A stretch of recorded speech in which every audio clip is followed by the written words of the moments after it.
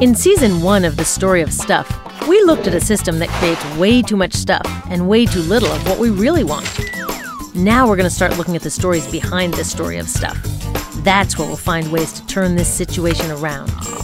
Welcome to season two. Bad for you, bad for America. He'll put us back on track. Hester ran our state into the ground. Now he wants to be your senator. Stand up. Say no. Stand up and say no. Bad for you, bad for America. Vote for this guy. Vote for this guy. Aren't you tired of this stuff? Why is it that every election season it becomes impossible to hear the facts over all these misleading ads? And if it seems the problem is only getting worse, that's because it is. We can thank the Supreme Court for that. In 2010, they decided that it would be just fine for corporations to spend as much money as they want telling us who to vote for. Wait, why are corporations telling us who to vote for? Let's get something straight. This is a democracy, you know, rule by the people. I'm a person, you're a person, and Chevron, not a person. So shouldn't elections be all about what people want? Good jobs, safe products, health care, responsible government, clean air and water. It turns out the vast majority of Americans want to see a lot more done on all of these things. But what people want is going to take a back seat as long as corporations can spend millions getting lawmakers elected.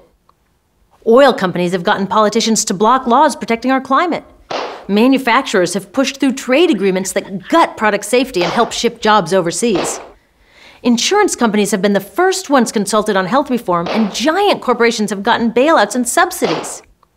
Maybe that's why all kinds of people, Republicans, Democrats, independents, are totally frustrated with our government. It's the government. It's easy to get angry, but it's time we got smart and realized that the heart of our problem is not that we have bad lawmakers, we have a democracy in crisis.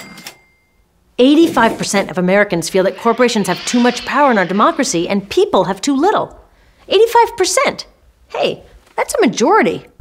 So let's get together and take our democracy back from the corporations. It's the first and most important step in making real progress on all the issues that people care most about.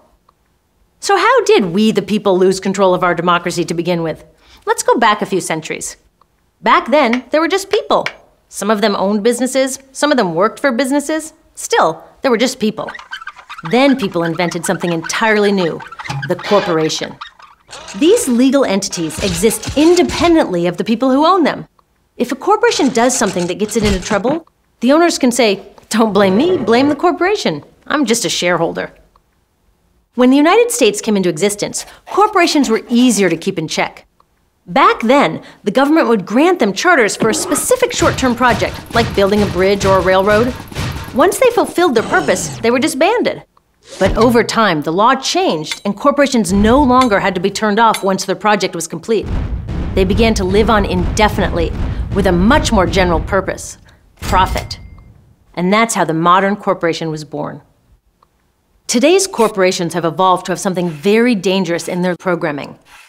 Unlike people who are driven by all kinds of motivations doing the right thing, love for family, their country, the planet Publicly traded corporations are now required by law and the markets to pursue one single motivation above all others maximize value for shareholders. Make as much money as possible. That's it.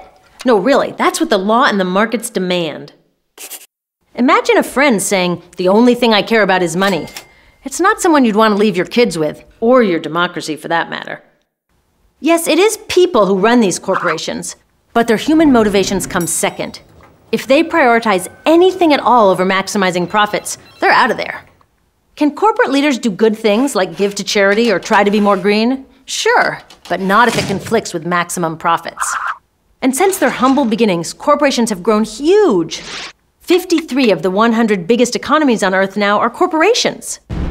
So corporations have a single minded profit motive, they're humongous, and their owners can easily dodge the blame for any harm they cause. That makes them tricky to share a country with. If we want them to serve us and not the other way around, they need some basic ground rules. And that's where the government comes in, setting rules to keep things fair and safe and to protect society from corporations run amok. Now, if their main objective is to maximize profit, do you think corporations are content to follow the rules that keep them in check? No, of course not. They want to write those rules. But who is supposed to write the rules in a democracy? People. That's why one of the corporation's key strategies for sneaking into our democracy is saying that they should have the same First Amendment rights as real live people. And that's exactly how they won the 2010 Supreme Court case known as Citizens United versus FEC. In that case, five members of the Supreme Court decided that it's unconstitutional to put any limits on how much money corporations can spend influencing elections. Why? They said these limits violate the First Amendment guaranteeing free speech. Now, obviously, our founding fathers who wrote the First Amendment were trying to protect the free speech of people. But this decision rides on the crazy argument that corporations should be treated the same as people and get the same rights that real people get. This means corporations can spend as much as they want, whenever they want, to intimidate or crush candidates running on a platform against their interests and support candidates who will do what they ask. It's great news for corporations wanting to handpick the lawmakers whose job it is to keep them in check. Now, I am all for free speech. If every shareholder and employee at Exxon wants to personally support some oil lobbyist running for Senate, that's their right. There are millions more people who will support a different candidate. That's democracy in action. But now, Exxon or any other corporation can decide to spend unlimited dollars from its huge corporate coffers to influence an election without even consulting its shareholders. This is a big deal. If the top 100 corporations decided to throw in just 1% of their profits, they could outspend every candidate for president, House, and Senate combined. Good luck having your free speech heard over that. So, did opening the floodgates on this money actually cause a flood? Sure did. In 2010, the kind of independent groups that corporations are now allowed to support spent $300 million. That's more than every midterm election since 1990 combined. So corporations are drowning out our voices, getting what they want, and our democracy is in trouble. But we can totally save it. People are so outraged by the Supreme Court decision that a massive response is mobilizing. Such a huge problem requires a huge solution, and we've got one a new constitutional amendment.